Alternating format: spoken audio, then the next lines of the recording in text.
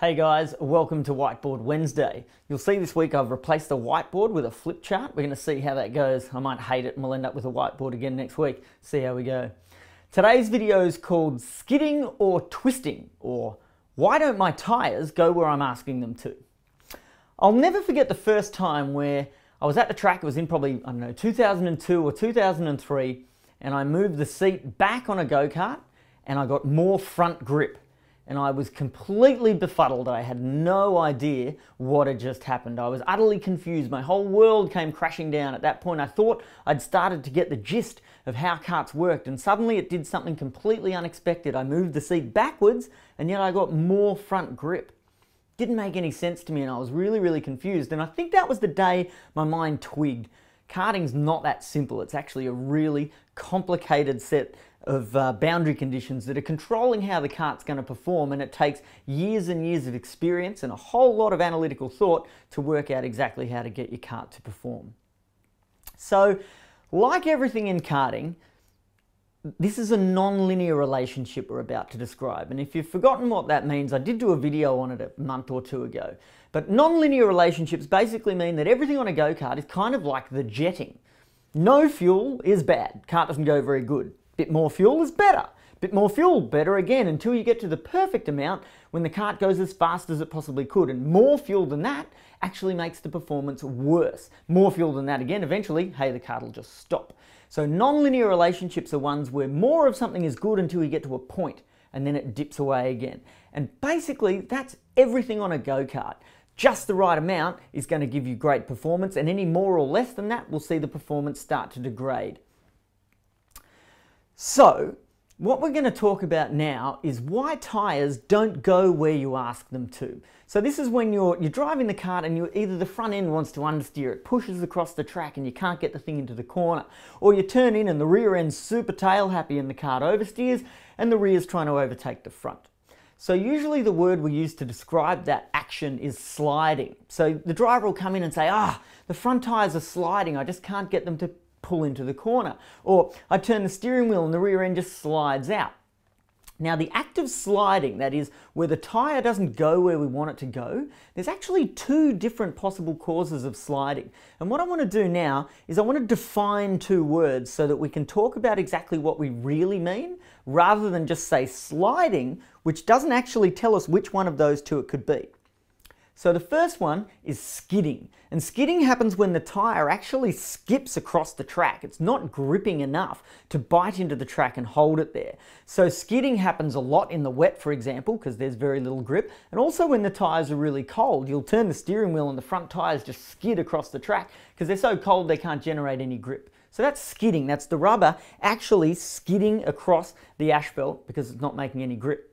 And that's the one that most people are aware of. Skidding, everyone knows what it is, right? So what's the second one? The second one is twisting. And this is what we've talked about in the recent videos talking about slip angle. It's where the rubber is actually gripping the road and gripping it very well, but the tyre is twisting so that the rubber is not pointed where the rim's pointed and there's an angle between the two, which is called slip angle.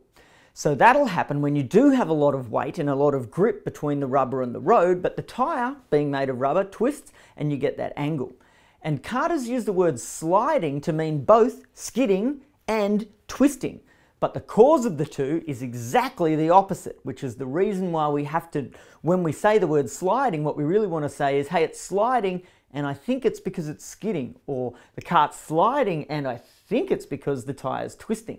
So what I want to do is teach you how to identify which of those two is happening because that's going to allow you to solve the problem rather than just start guessing. So, as I usually do when I'm trying to convey something pretty complicated, I'm going to get my pen out and draw us a bit of a diagram. So, it's another graph. And on the x-axis, this way, we're going to label that weight. So this is the amount of weight pushing down on the tyre in the corner. And the y-axis heading up here is grip. This is the amount of grip that the tyre is generating. And really what I mean by grip actually is the amount of side load that it generates to push the kart around the track. So if we start with no weight, we have no grip, right? And if we start to add weight, we get more and more grip. So we come up on an angle like this. Now, the misconception that exists in karting is that more weight equals more grip all the time. And in this section of the tire's performance, that's true. If you don't have enough weight, the tyre skids. It actually skids across the track because it's not making enough grip.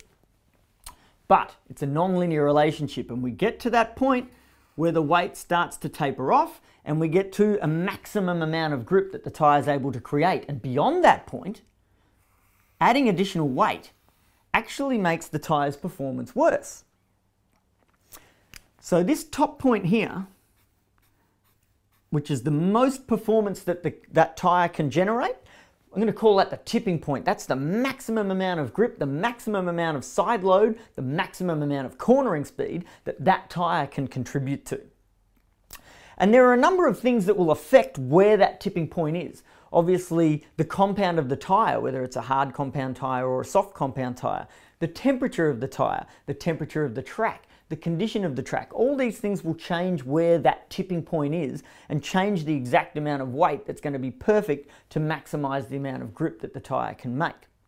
There are literally hundreds, I don't know, maybe thousands of variables that contribute to working out exactly where this point ends up. And I don't think, as go-karters on the limited budgets that we have, that we can really ever know exactly where it is.